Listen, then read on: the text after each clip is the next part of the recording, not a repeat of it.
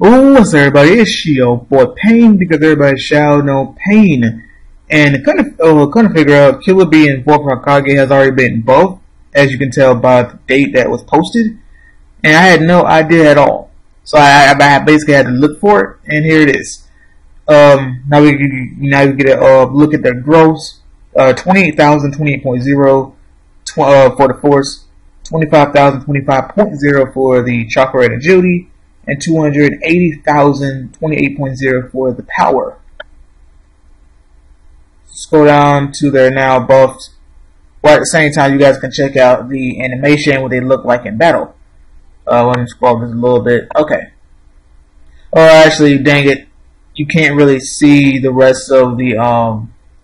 But I think I'm, I'm you can't really see the rest of the talent. Um, but I'll still, I'll still read to you guys. Uh, massively, massively increase force and agility naturally has 70, 77% speed, 55% damage rate, 50% avoidance rate when on the field. Increase uh, team speed by 90% and HP by 30%. So that's been buffed.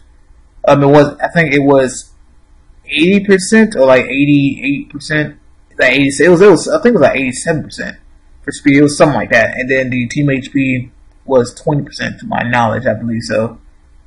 Um, then increased teams avoid injury rate by 30%. Stuff ignores super flash when attacked 50%.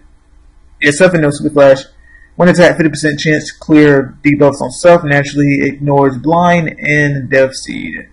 So now he now your team is slightly faster with his buff and more HP. Ahead and make you guys bulkier. Then for the skill, attack all growth rate, uh, 350%, 9% chance to explode enemies can't move, cause enemies to lose 100% HP for one round, increase team block rate by 60%. I think it was either four, uh, either 40 or 50. Can break upper limits, decrease enemy strategy and physical defense by 30%, recover 50 for self and 30 for team. So yeah, that's uh, Fourth Raikage and Killer Bee and Fourth Raikage buff.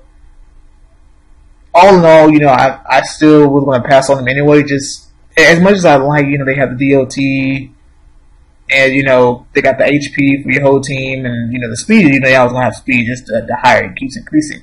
It's just what they, it's just what they do in terms of talent and skill. Just not enough, or it's not enough. It's not enough for me to will the thing.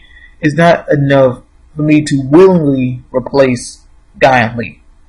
Not saying because I mean, I'm not saying not good. Because if you watch my preview, you watch my video of them when they first came out, I gave my full on opinions. It's just you know, um, you know, because you know when they when they get buffs, it's not gonna be spectacular.